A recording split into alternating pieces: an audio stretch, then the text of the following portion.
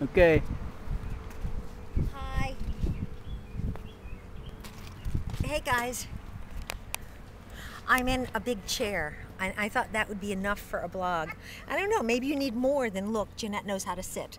Um, but it's just, just about the right size uh, for me.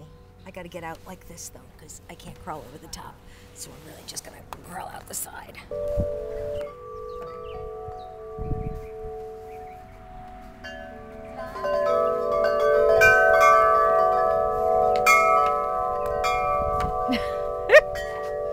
Oh my God, Jeanette.